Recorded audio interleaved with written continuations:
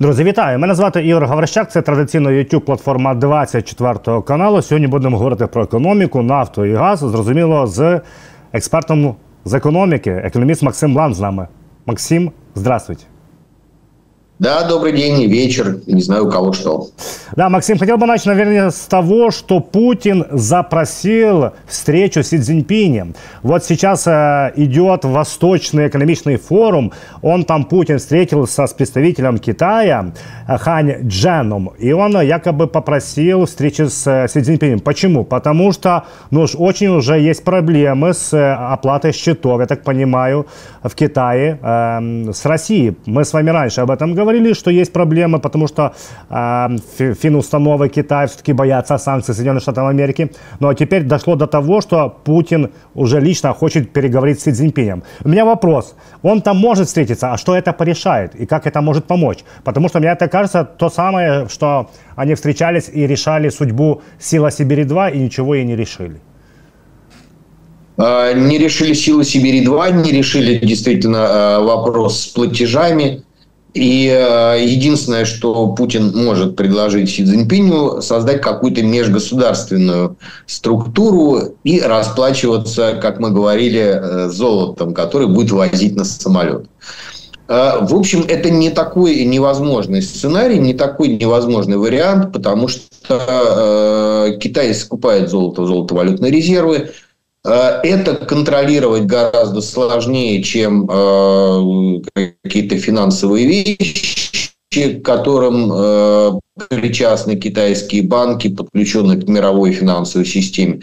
Вот. И я думаю, что события среды на московской валютной бирже, как раз в момент, когда открывался Восточный экономический форум, рубль обвалился к юаню сразу на 5%. И э, те факторы, которые привели к этому обвалу рубля, они долгосрочные. Это не то, чтобы там сиюминутная какая-то история. Ну, есть и сиюминутная история. Э, Все дело в том, что э, Роснефть размещала облигации, номинированные в, ки- э, в китайских юанях, потому что ну, в рублях сейчас занимать э, слишком дорого, цены сумасшедшие. Э, придется платить там, ну, доходность давать, потому что правительство уже больше 16 платит. Поэтому размещается в юанях. В юанях все-таки проценты ниже, а э, валютная выручка у Роснефти какая-никакая есть. И поэтому для нее это безопасно. И вот она создала искусственный спрос на юани, потому что банки, инвесторы начали скупать китайскую валюту, чтобы дать Роснефти под проценты в долг.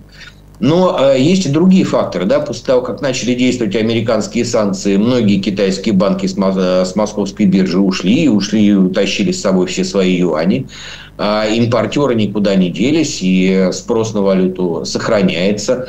До конца августа э, еще экспортеры продавали валюту, ну, то есть в основном юани. Ну, на московской бирже чего, юани сейчас особо и не торгуется. А, но 28 августа закончился налоговый период, они налоги заплатили, и все. Да, лавочка закрылась. Поэтому уже а, ставки по а, однодневным репо, ну, то есть по кредитам, которые берут игроки, чтобы сыграть против юаня, продать юань, в надежде на следующий день купить дешевле. Они уже в конце прошлой недели доходили там, до 40%. Э, в начале этой недели уже 60 было, а в среду подскочили до 200% годовых. Да? Это кредит на один день, но все равно 200% годовых – это запредельно просто, даже особенно в юане. Вот, поэтому э, ситуация неординарная, и Путин ну, просто необходимо искать выход из этой ситуации. Э, китайцев, в принципе, э, ну, я не знаю, все устраивает, хотя, конечно, подстегнуть торговлю можно. И, опять же, получить не только нефть, газ и все остальное, что они получают, удобрения там, э, и лес, но и золото со скидкой с изрядной тоже было бы неплохо. Поэтому я думаю, что, может быть, какая-то сделка здесь и возможна. Ну, опять же, надо понимать, что это произойдет там не завтра. Да? То есть, всего сегодня Путин прилетит в Пекин, а завтра первый э, в Китай. Но в обозримом будущем возможно такая схема. Максим, скажите, пожалуйста, вот вы говорите о том, что если Путин встретится с Си Цзиньпинем, они могут договориться о каких-то сделках между государствами, да? Насколько это шаг назад в развитии, и это будет как-то тормозить э, товарооборот или платежи, да? Или на, на что это повлиять? Или это будет э, все как и прежде, просто между двумя государствами без э, там финустанов, которые, на которые могут накладать санкции Соединенные, Соединенные Штаты Америки?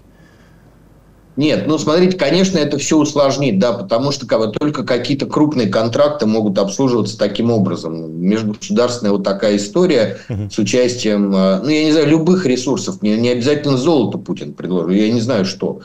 Э, она может касаться там крупных поставок, той же нефти, газа, какого-то чувствительного для России оборудования или комплектующих в больших объемах, которые используются там для производства оружия, например.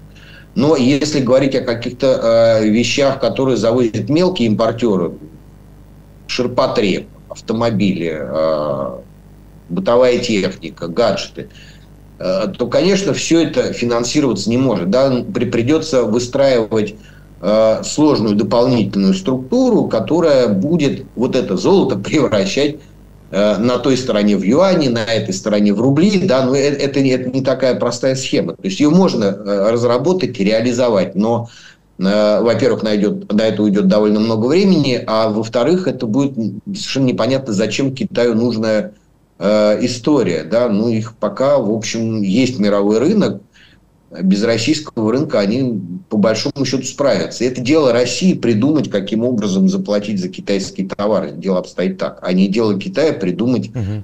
э, как сделать так, чтобы обойти американские санкции. Вот, поэтому э, здесь, конечно, э, потребители пострадают в любом случае, военные в любом случае пострадают в меньшей степени.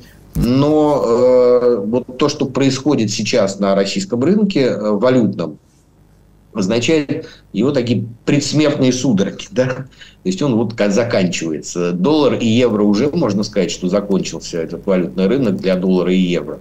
Юань последний, так, последний якорь, э, который уже тонет, да, который ну, вот, э, отваливается юаневый рынок. Рынок слишком тонкий, и вся схема, которая в России построена на э, наполнении бюджета за счет нефтегазовых доходов, на привязке к долларовым ценам за нефть, на, на привязке к долларовым ценам за газ тот же, да, она вся начинает трещать и рушиться. И, э, в принципе, если так дальше пойдет, придется перестраивать всю российскую бюджетную систему в том числе, да, пересматривать, каким образом собирать рентные платежи с нефтяных компаний. Потому что сейчас не очень понятно э, пересматривать. И, и это означает, что просто вот этот э, железный занавес, который вокруг России постарались выстроить Э, развитые страны, он обрастает э, какой-то крепостью. Да? Вот те щели, которые в нем существовали, они э, все менее и менее проходимые. И пролезть через них становится все сложнее, приходится придумывать новые схемы, каждый раз эти схемы более дорогостоящие, требующие больше времени и усилий. Вот. Э, и я думаю, что Си просто скажет Путину, ну давай, друг, завязывай уже с этой войной, и так, тогда и будем торговать. Э, скорее всего, наверное, так, потому что те э, усилия, которые требуются для поддержания всей, всей этой вот, вот конструкции, они непропорциональны.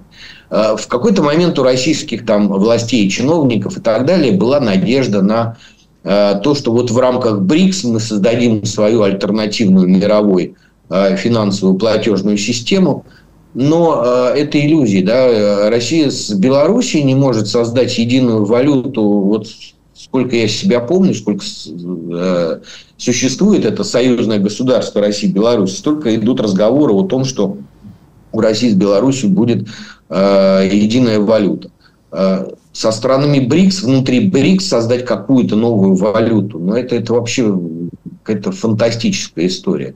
Э, достаточно вспомнить, сколько создавалось евро, какие проблемы это все сопровождало. И э, то, что там Великобритания и ряд европейских стран отказались участвовать в этом проекте. А БРИКС настолько разные страны с, с настолько разными условиями экономическими, политическими, и взглядами, и воззрениями, что ну, здесь говорить не приходится ни о никакой совместной валюте. Ну, какая-то единица расчетная для международной торговли, но опять же, зачем она нужна, если есть там, в конце концов, есть китайский юань, да, точно. Да, Максим, вот вы сказали о том, что э, санкции обрастают, все новые, новые э, ищет Россия пути, чтобы их обойти. Правильно ли я понимаю, что вот санкции это же не сиюминутная вещь, это инертная вещь, и она, они начинают действовать сейчас вот именно так, как они, как, скажем так, как ожидали, что будут действовать потому что много кричали, а где же санкции, вот санкции есть, но они не действуют. Сейчас можно уже делать выводы, что вот э, э, Россия в этих санкциях все больше и больше утопает. Э, ну, безусловно, этот вывод делать можно, и, э, ну как, понятное дело, что э, Поначалу э, и санкции были не такими. Да? Я хочу напомнить, что были огромные опасения у США и особенно у европейских стран относительно того, что потеря России дестабилизирует мировые рынки, начиная от рынка энергоносителей, нефти, газа там, э, и угля того же, э, и заканчивая мировым рынком зерна. Э, и летом, осенью 2022 года была оформлена истерия и в ООН, и в беднейших странах, и африканские лидеры приезжали в Москву, чтобы уговаривать Владимира Владимировича не прекращать поставки зерна на мировой рынок. Вот. Сейчас стало очевидно, что э, без России мир в принципе обойтись теоретически может. Да, ну, есть э, поставки в Китай, есть поставки в Индию. Сейчас, кстати, большой раскручивается большая история относительно того, что какой-то тайный канал торговли между Россией и Индией создается. Ну, я не знаю, нужно смотреть, э, что это за тайный канал. Мне кажется, тут шума больше, чем, э, чем э, каких-то реальных вещей. Тем не менее, вот да, Россия постепенно выдавливается. Не, не так, как думали сначала, потому что и российские власти думали сначала, что если Россия будет отрезана от мировой торговли, вот так одномоментно, да, то действительно наступит коллапс экономики. А, и а, здесь надо понимать, что, с одной стороны, этот весь процесс развода с Россией, выключения России из мировой, из мировой экономики, он а, происходит максимально безболезненно для развитых стран, но и Россия успевает адаптироваться к тому, что происходит, да, находит пути альтернативные. Это сложно. Полностью заместить Э, вот в отличие от мирового рынка, в котором Россия играет довольно скромную роль, и э, где э, масса альтернатив России, в России заместить импорт невозможно. И вы вот сейчас вспомнили Восточный экономический форум, про него хотелось бы подробнее рассказать, потому что это прям вот, вот больная тема. Вот, но одним словом, да, Россия постепенно упирается лбом в ту стену, э, которую она прошибить пока не может и, скорее всего, не сможет. Э, да, Максим, э, а вот об Восточном экономическом форуме давайте подробней, почему больная тема. А потом я уже вспомню о нафте и почему обварилась нафта до минимума мая 2023 года. Но давайте сначала о форуме. Ну, давайте о форуме. Смотрите, Владимир Путин начал свою речь на э, этом э, замечательном мероприятии, на пленарной сессии, э, с описанием мегапроектов, которые будут реализованы на Дальнем Востоке. Вот там и будет БАМ построен, причем масштаб работ превышает всю гигантскую стройку Советского Союза, над которой вся страна включая союзные республики, билось 10 лет и построили только одноколейку, а сейчас мы построим э, двухпутную дорогу, да еще и все электрифицируем, и Севернузский тоннель в обходной путь сделаем и так далее и тому подобное. И э, построим дорогу от Санкт-Петербурга до Владивостока и обратно, да, автомобильно и потекут по ней грузы китайские в европейскую часть России. И будем там добывать э, литий, титан и редкоземельные элементы, и построим завод такой, завод секой, гражданские дроны, э, гражданские самолеты и так далее. А, и вот слушая все это, понимаешь, да, что на Дальнем Востоке живет ну, меньше 7,5 миллионов человек. Это на минуточку почти в два раза меньше, чем в Москве. А, в июне этого года Минвосток развития, такое специальное есть министерство, проводило расширенную коллегию, и там вот такой был э, прогноз, что э, продолжает сокращаться население Дальнего Востока, и естественным образом и продолжают уезжать люди оттуда. И никакие дальневосточные гектары, никакие супер льготные, там дают ипотеку под 2%, да, никакие супер льготные ипотеки туда людей не привлекают. Соответственно, если вот тенденция продолжится без внешней миграции, э, к 30 году Дальний Восток потеряет еще 200 тысяч человек. Ну, на первый взгляд, 200 тысяч не так много, но э, когда э, речь о 7,5 миллионах, то 200 тысяч – это существенная сумма. Возникает вопрос, кто будет все эти просеки рубить для того, чтобы строить автомобильную, эти автомобильные дороги, прокладывать, класть рельсы, шпалы и так далее и тому подобное, строить заводы, а главное – Э, когда Путин говорит э, о создании новых рабочих мест там, э, в авиастроении и так далее, ну, разбирает смех, да, потому что ну, новых рабочих мест... Сейчас последняя задача российской экономики – создать новые рабочие места. А после этой мысли приходит в голову еще одна, что если бы в 2022 году все те силы, ресурсы человеческие, материальные, финансовые и так далее – были пущены не на запад, а на восток, на освоение действительно гигантской, очень богатой, неосвоенной абсолютно территории, где на квадратный километр живет меньше народу, ну, я не знаю, в Антарктиде разве что меньше народу живет, да, ну, и за полярным кругом, там, где-нибудь на севере Канады и на Аляске, а, то уже сейчас мы видели бы какие-то результаты, да, ну, вот, э, во-первых, люди бы не гибли, во-вторых, действительно, там вот дикий запад, просто копай и богатство повсюду. Все, ну, лес там китайцы уже почистили немножко. Ну, помимо леса там огромное количество всего. Вот. Э, и с одной стороны, понимаешь, что вот пока идет война, и пока острый кадровый голод, пока демографическая яма, пока такая в России э, политика в отношении миграционная политика в отношении трудовых мигрантов, ну, все эти сказки про развитие Дальнего Востока, про освоение того и сего, ну, понятно, что им нужно построить железную дорогу. Ну, нагонят, наверное, кого-то будут строить. Опять же, как в Советском Союзе 10 лет, потом на этом сломаются. Бам этот свой несчастный будут достраивать. Но э, по большому счету, ну вот, э, вот это э, мог бы быть действительно национальный проект освоения неосвоенных территорий. Вместо этого поперлись куда-то, где за, за, на, на каждых 100 метрах, которые приходится проходить этой российской армии, гибнет там 10 тысяч человек. Ну, ну это просто, просто слов нету, да, вот, вот как, когда про это начинаешь думать. И это очень грустная история, да, потому что э, Россия имела гигантские возможности, наверное, и сейчас имеет, да, нужно вылезать из этой войны, нужно, там, я не знаю, с потерями, с э, репарациями и так далее, э, как угодно. Э, но вот те территориальные, ну даже, даже смешно думать, приобретения, которыми Путин, наверное, гордится, но это вообще ничто по, по сравнению с тем, что вот там лежит на Востоке не освоено. Да, Максим, только это нужно понять. Да, он, наверное, и понимает это, Путин, да, но у него какие-то свои цели. Это восстановление Советского Союза, э, территории, территории, еще раз территории.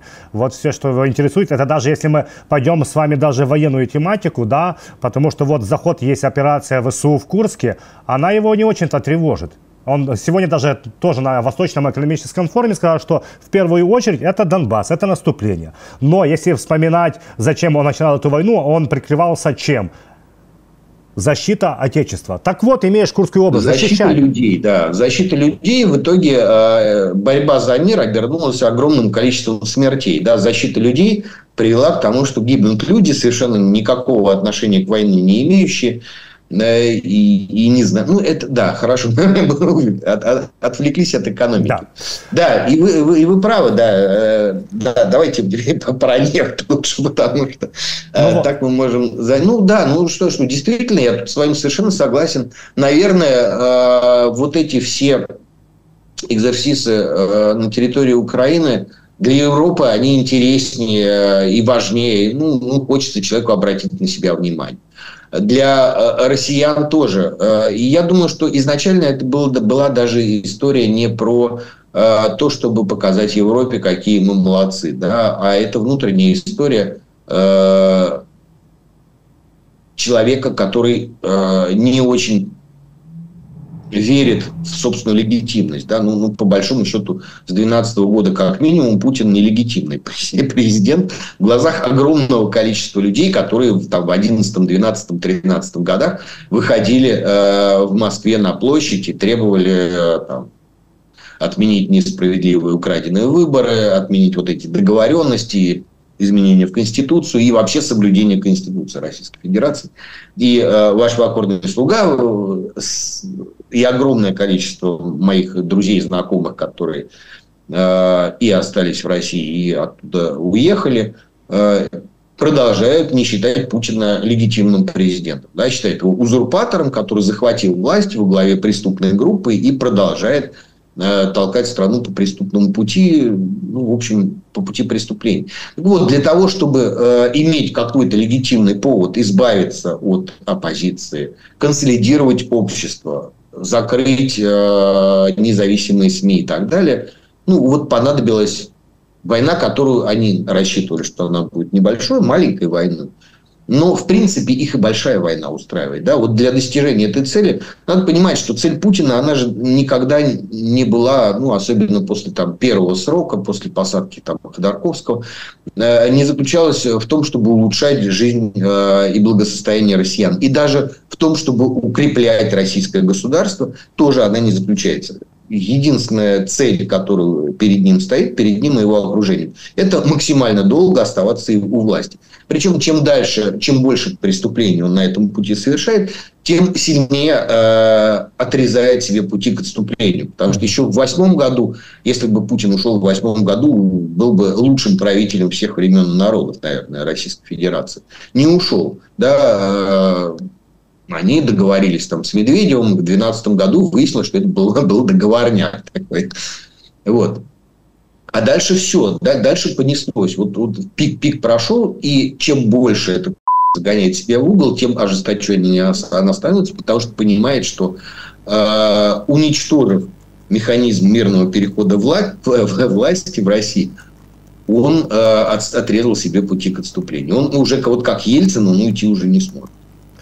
Да, Максиме, как я и обещал, поговорим о нефти, да, о том, что с мая прошлого года упала цена, и Россия, вот у России в ОПЕК возникли трудности. Как так случилось, почему упала цена, будет она ли подниматься, ну и Э, вообще какая ситуация с нефтью, потому что я вот только недавно узнал, что после большой, начала большой войны, большого вторжения России в Украину, за эти два с половиной года там уже ушли разные компании, и вот Россия ни одно э, местонахождение полноценной нефти не разрабатывала. Там какие-то дополнительные, но вот что полностью с нуля ничего не сделала.